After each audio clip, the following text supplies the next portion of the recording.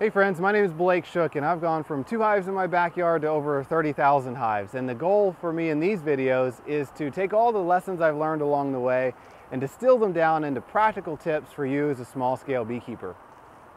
How do you tell when your honey flow is over? You know, it can be frustrating because every year is a little bit different. You know, flowers and bees don't follow the books and the calendars. You know, every year the honey flow may end two weeks early or go two weeks later. So how do you know that your honey flow is over and you can harvest your honey? There's really a couple main ways to do that. You can look at what's going on inside your hive and you can look at what's going on outside your hive. If all your flowers have pretty much dried up and died, your honey flow is probably over. This is where it's helpful to get to know your local forage and understand what flowers are your main honey producers. When those main flowers start to die off, you know your honey flow is coming to an end. But the biggest clues also occur inside your hive. One thing that I often do when it's coming near towards the end of the honey flow, or if I'm wondering if the honey flow has even started, it works both ways, um, I, can, I will often go out to a hive, open it up, and I'll find a frame of honey or frame with uh, lots of honey on it, which is not the case in this box. And I'll set that frame of honey to the side for about 20 or 30 minutes. And if there's no honey flow, then after 20 minutes or so, bees are gonna start robbing that frame. And that's a clue to me that, oh, the honey flow either hasn't started yet or it's over. So here's a frame with a good amount of honey on it. Ideally you want uncapped honey, but I'm gonna shake the bees off of it.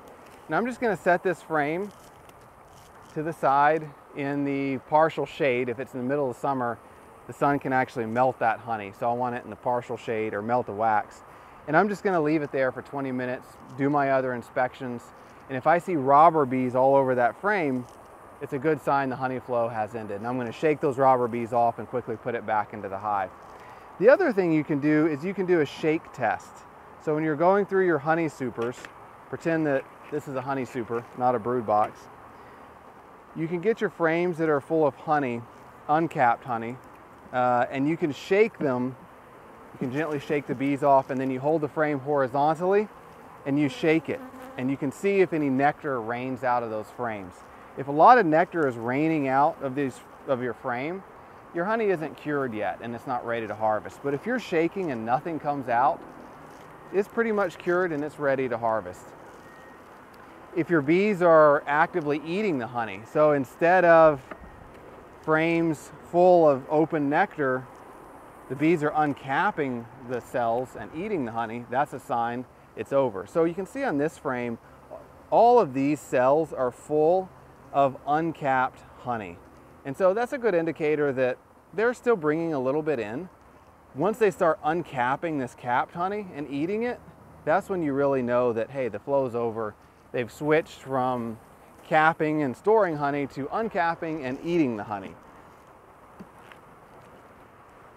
So that's a great indicator too that the honey flow is over and you're ready to harvest. So check on what's going on inside your hive, check on what's going on outside the hive, and that's combined will tell you whether or not the flow is over. If this is helpful, like and subscribe, and I'll see you next time.